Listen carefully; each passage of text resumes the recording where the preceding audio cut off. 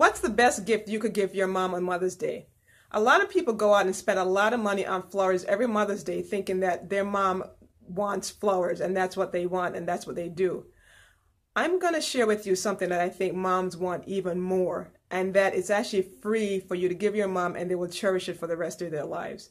In my experience, having lost my mom five years ago, I realized that the best gift I could have ever given my mom was to become the person that she knew me to be. See, mom are very intuitive. They know their kids very well.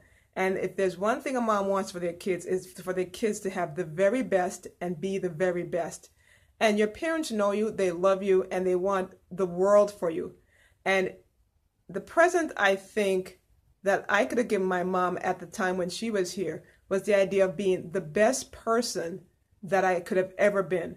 That means living in the strength that she knew me to have. And sometimes we play small, right? We're we're challenged by our fears. We don't live through them. And our parents see through that. Our moms see through that, knowing that you're strong, you're capable, and that you could get through anything. So on this Mother's Day, if you're looking for the best present to give your mom, I would suggest, you know what, you develop yourself to be the best person because your mom, you know, wants to be proud of their kids, and they are.